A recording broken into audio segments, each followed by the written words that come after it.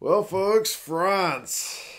Final game of the warm ups, and they give the Wallabies a wee bit of a hiding 41 points to 17. We'll go through some key events and stats from the match from the Stade de France, and uh, then we wait. We wait for the Rugby World Cup. Um, great crowd in France. If that crowd and the recent crowds in France is any indication of what we're going to get in this Rugby World Cup, I think we're in for a bit of a treat. Really loud, boisterous, and um, great atmosphere at the game. One last game for the warm ups behind their side, although it didn't start that great. Dupont offside early meant the Wallabies had a first chance to get themselves on the board.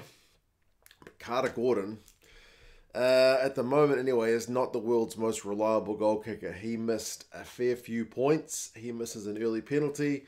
And then with those missed points, uh, the Wallabies concede a couple. Rob Valetini gives away one for a clean out on Danty.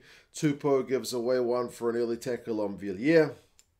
And that pretty much leads directly to the French first try of the game. From a line out, the French with a bit of deceptive play, which I like seeing. The teams that vary it up, they decide not to maul it. Um, Dupont just kind of draws a man half into a tackle, pops the ball to Danty, and Danty has got eyes straight for Carter Gordon he's a young, kind of inexperienced 10 man, and Danty is a big human being. Why wouldn't you? Boomfa, he goes over, and it's seven points to nil to France after less than 10 minutes. The crowd is loving every second of that. Danty flattened Nawaqanitawase not too long later, although it was kind of an obstruction move. Uh, so he gave away a penalty not long after scoring the try, which gave the Wallabies a chance. And interestingly, this time the Wallabies hit back pretty nicely. And Nawaqanitawase looks great at international level. He just he looks better than he does at Super Rugby level. It's one of those weird players that just when he puts on his international jersey, just I don't know, like skips up a couple of extra levels. I don't know how he does it, but man, he's looking good. He's going to be a key part of any success that the Wallabies have, I think, at this World Cup, if uh, if they are going to have any. Um, yeah, from that obstruction penalty, it's a line out, it's a maul, advantage to the Wallabies. They go for touch, they get advantage again.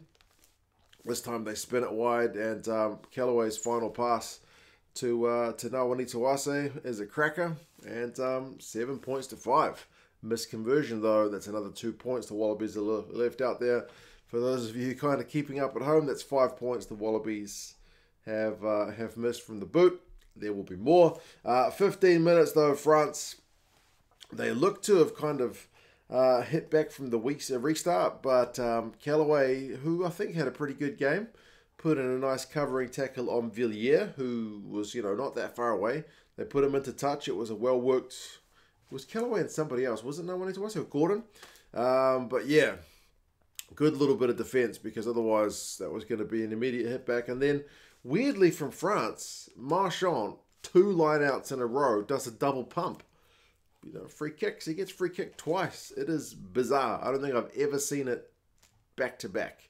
You see something new every game, I swear. But um, yeah, very, very surprising. And um, the Wallabies actually had a chance out on Vunivalu's wing. Vunivalu, despite having a disastrous game about a month or so ago against the Boks, I thought actually looked not bad in this game. Yeah, didn't look out of place. Like in the Springboks game, he looked completely like a man who didn't know what he was doing, but no, he looked like an athlete. He looked like a rugby player in this game. So maybe there's another bit of a bright side for the Wallabies. Um, Fickou and Villiere, though, causing havoc for um, for the French. Ramos manages to kick penalties on 25 and 27 minutes respectively, so it goes 10-5, 13-5. The scoreboard's starting to get away from the Wallabies, although their scrum was good. That's one thing that's pleasing. And Tupou gets through, I think, 69 minutes. Really, really pleasing. I've been kind of questioning that guy's fitness and um, the ability of the kind of replacement guys in Nonggorr and the debutant Schoupp to... Um, you know, to stand up, but I think they did all right when they came on. So, yeah, the Wallabies win a scrum penalty. They opt for three, and it goes wide. So that's two penalties and a conversion the Wallabies have missed in that first half. Like to going out here at two cents. Um, offices, living room. Um, what else is going on?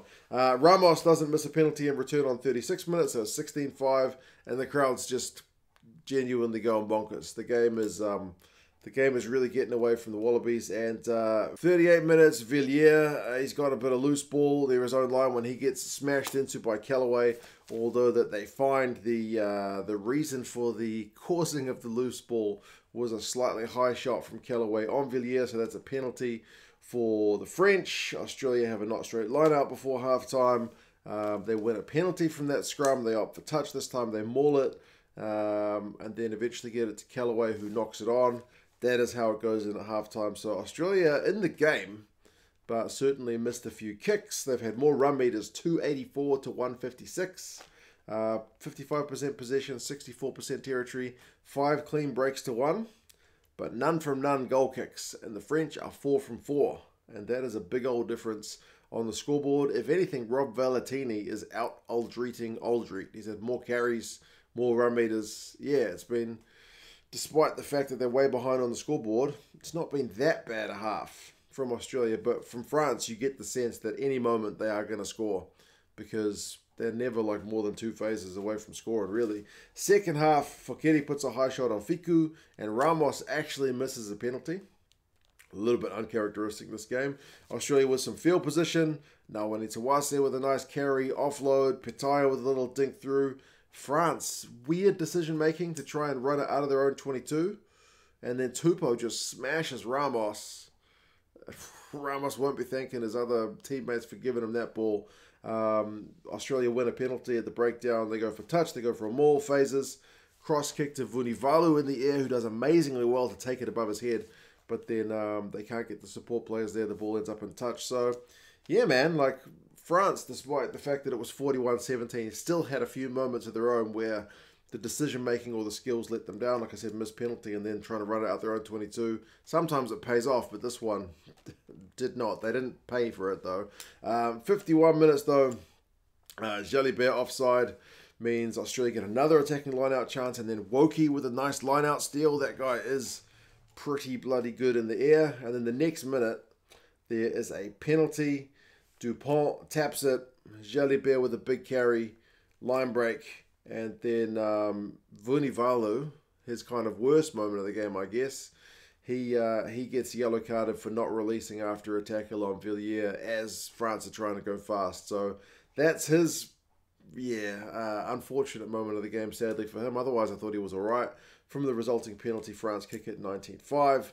Um, and then France are just too good with the extra man, man. Like, you can't give these guys you can't give France an extra man. Villiere uh, has a cross kick kick to him in their own half. Kellaway does well um, to field a subsequent Villiere kick through. But then um, when France get possession back, Alldritt big carry, Danty big carry, beats defenders. Dupont with a cross kick to Penaud and 26 5. That's what I mean about France not being that many phases away from any a try at any time, especially with an extra man. However, they did concede a try during the yellow card too. Nawaqanitawase won a high ball, uh, kicked into the French half, and McReight went through pretty much almost untouched a phase or two later. So, um, yeah, 26 12, a try during the yellow card is a pleasing one for Australia. And maybe a little bit concerningly for France, as two of the tries they conceded were from high balls. So, other teams will certainly be taking note of that. Um, Ramos, though, didn't really get much credit for it in my commentary team. They didn't even mention it. Kicked a really casual 50 22 on 63 minutes, which directly led to the uh, the Villiere try on 64 minutes because the lineout move gets it wide to a big carrying Jonathan Danty. He manages to get the ball over the advantage line. Next minute, Jalibert, next phase, Jalibert dinks it through for Villiere, and it's a cracking finish from him uncharacteristic misconversion, but 31 12. And then I think from that point on, the final kind of 10 minutes, France just have a bit of fun. They are really just chucking the ball around. They know they got the game won. Um, and it pays off when Penaud gets one from turnover ball. Two passes wide. Penaud with a chip and regather. The Aussie defense for that one is really soft. And um, yeah, 38 12 is looking pretty horrendous. They do get a consolation through Vunivalu. Like I mentioned, it's in the air. Uh, Jaminet just couldn't get in the right position under it, and um, Vunivalu, if there's one attribute he does bring to this game, which is uh, hard to match, it's his ability in the air. So they get that one 38-17, but the French get the final say with a penalty to make it 41-17. So a finish is looking pretty horrendous. I do think if the Aussies' goal kicking is a bit better, the scoreline doesn't look too bad. They finished at 20% with the boot, whereas the French, with all those penalties, five of them, kept the scoreboard ticking over and uh, just took the game away from the Wallabies. Tries only finishes four to three, so on that front, not that different, man. Run meters though, the French had a field day in the second half. Finishes five fifth, sorry five forty four to four seventy six. Remember, France were behind in run meters at halftime. Possession evens up a bit, 47 53. Territory, the Wallabies have more, but clean breaks finishes 10 to 9. Remember, it was 5 1 to the Aussies in the first half. This gives you an indication of how free flowing the French game got in the second half. Tackling percentage also France 88, which is pretty tidy. Australia 80, which is not going to win you test matches away to France at the start of France. Um, line out France 15 from 17. Uh, the Aussies 17 from 20, so both sides would like to probably be one or two better there. And uh, interestingly, if you're looking again for kind of chinks in the French armour, their scrum was put under a lot of pressure in that first half. They conceded a couple of penalties. And even when the Aussie replacement props came on, the French scrum wasn't just winning penalties against them like the All Blacks did a few weeks ago in Dunedin. Uh, individuals, Tupou played 69 minutes, like I mentioned, which is pleasing. Vunivalu had 97 metres, three clean breaks, three defenders beaten, and a try. Not bad, looked dangerous on the wing, albeit a dumb kind of yellow card when his team was under the pump. McReight gets a try, makes 12 tackle attempts, makes 10 of them. It's a long way, winded way of putting that. Uh, Jalibert, 100 metres, one clean break, three defenders beaten, a try assist. In the absence of Ntamack, he's looking pretty offensively minded, isn't he? Cros makes 18 from 21 tackles. Penaud, four clean breaks, six defenders beaten. I didn't even get to Villiere's numbers. Uh, yes, dangerous, dangerous times. The French are going to be hard to beat at that stadium when they play the All Blacks in a couple of weeks. Australia, I don't think it's all doom and gloom despite the scoreline but certainly more areas to improve. They'll not be happy with all the tries they conceded. They'll not be happy with the goal kicking. But um, yes, couple of weeks off now until we get to the World Cup proper. Should be a pretty fascinating one. We still wait to see which kind of squads are named from the ones that are still to come. The Irish squad, as I said here, I don't think has been named just yet, but it shouldn't be too far away. Uh, we've got more depth chart videos to come out if you want to check out the teams which have been done so far. Uh, there's the Aussie one, there's the All Blacks one, South African one, and the French one will be coming. But um, yeah, you guys let us know your thoughts, and um, I'll talk to you guys again soon. Later.